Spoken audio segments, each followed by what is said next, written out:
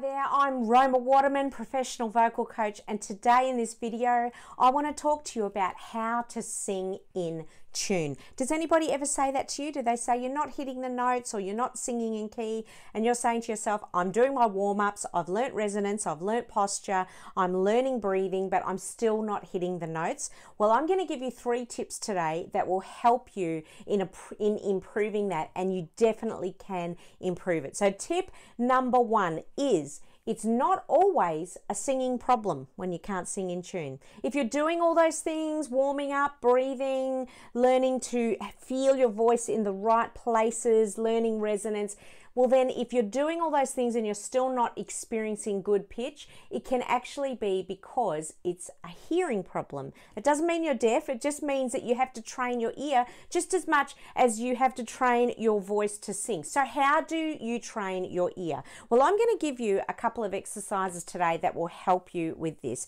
So, for this first exercise, I am going to play two notes. And when I play those two notes, what I want you to do is tune your ear in and only listen for one of those notes. It'll either be the lower one or the higher one. So I'm going to play two notes right now. And for this first exercise, I want you to sing the lower note. Here we go. You ready?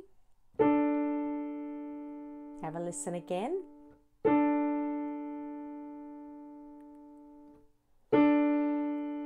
Try to sing it out. Ah. Now it's hard when you're hearing two notes to often get this right and it can take a bit of time. Let's try the higher note of that exercise. Ah. That's it. All right, let's try it on two different notes. Here we go. I want you to sing the higher note.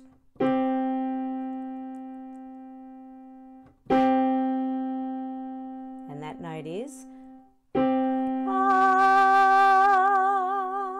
Now try singing the lower note.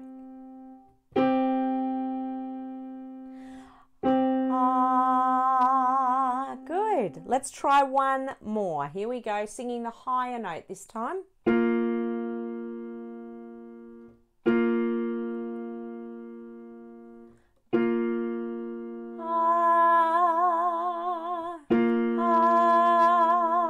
Lower note. Ah. Now, when you start this, you will probably notice that one note you'll be able to hear more distinctly than the other one, and that will just be because of what you're used to listening to, or you may not hear any distinction at all. Don't be discouraged. The more you practice this, the easier it will become. If you don't have a piano at home and you can't play two notes, you're not musical at all, you still can do this. You're just playing two notes that are generally close to each other, between five notes apart. So you'll play a number one and a number five.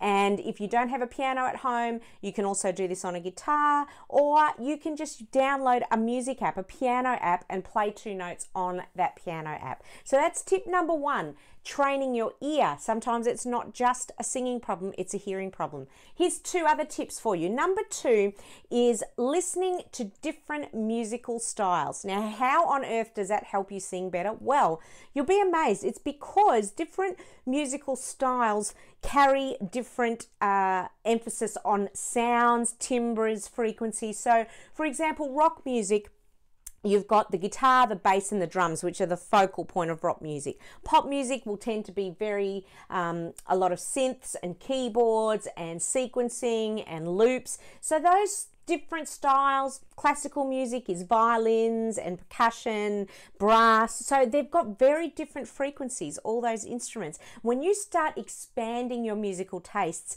it actually changes the way that you hear. So start listening to lots of different musical styles. I actually find that the people that have a lot of trouble with pitch, they don't actually either listen to a lot of music or they're only listening to one type of music. So, expanding your musical tastes will help you enormously. And then finally, my third tip is once you're listening to those different musical styles, I want you to zone in and listen to the different instrumentation in a song. For example, if you're listening to uh, one style of music and it has bass in it, normally what you would do, you, you'd just be concentrating on the melody line and what the singer is singing. That's generally how most people listen to music. Well, I want you to try and zone out and listen to what the bass is doing. What's the bass line sound like? Can you sing that bass line? What are the backing vocals doing? Could you sing those backing vocal parts? What are the guitars doing? Zoning in on different instrumentation completely expands the way that you hear and in turn can really improve your pitch. They're really simple tips. Let's go through them again. Number one is it's not just a singing problem, it can also be a hearing problem. So, learning to train your ears. And then, tip number two is listening to different musical genres. And number three, zoning in on different instrumentation as you're listening to those musical styles. I hope that they help you. Feel free to leave any information or any comments in the comments or in the discussion board if you're in one of my courses watching this. Look forward to hearing from you and hearing you sing in tune.